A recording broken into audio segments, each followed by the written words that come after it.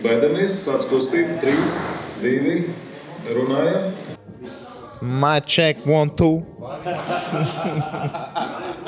3, 2, 1.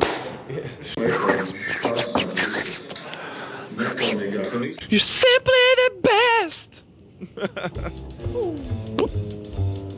skir, skir. Nu, jā, tā, tā, tā unikālā lieta ir tieši. Varbūt varētu nekrāsot tagad. Viņi varbūt ar nekrāsot tagad. What, what kind of div- division? No problem. But all, all.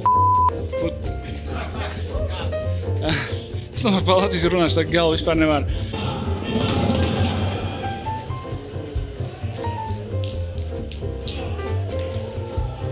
Good.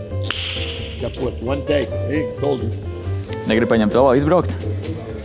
Jā, pēc tam tur nolikt tā smuka tinkšņa kanti. Vai jūs policijas stādījat vai nestādījat, ka jūs braucat lēnām? Nestādījat, neaiztiek.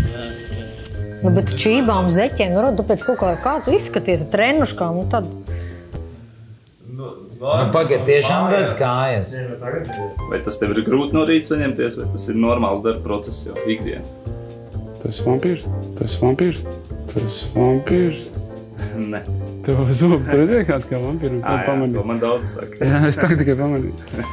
Labi, vēlreiz saku. Par biatlonu varbūt tur vispār tikpat kā neko, bet ā, tā, kur mums ir kats? Tad ar divām kamerām. Kā tik krēsliņi vienkārši vislabākais. Tad beigās tām rokām uztaisim, jo to vilnīt. Tā ir prikal, jūs arī skrienat no pakaļ. Iet, iet, iet. Nebūs. Nē, viņš nav tik plats. Tas ir čēno. Un tad tu mierīgi ienāks un apsēdīsies, nebūs nekādas steigas, būs pilnīgi mierīgi. Nu, ba baigi labs, laikam, ē, nu, tas...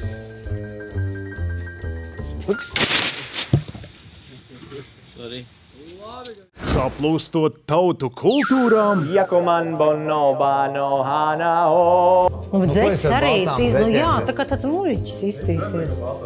Ne, nu tā, bet ne tas izstās drausmīgi. Sila reklāma. Mēs ar botam uzliek botus, mēs ienācām no dāļa. Atstāsim garo vai, vai īso. Ir viss apstākļi šeit, nu tā, lai to realizētu. Klausies, pašvaldībā uzzināja, ka būs televīzijas zāle jānopļauj. Jā, uzreiz siltā traktoriņš aiziet. Tu tā, nu, zini, nostājuši tā te izdara tā.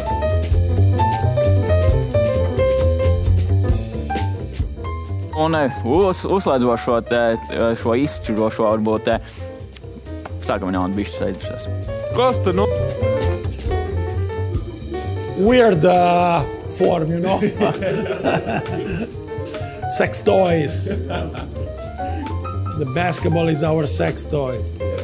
Jā, paldies! Jā, paldies! Jā, paldies! Nu, vajadzēja vairāk tiem treneriem parunāt, ne? Nu, tādu detalizētāk. Labi, Matīs ēd. Guri.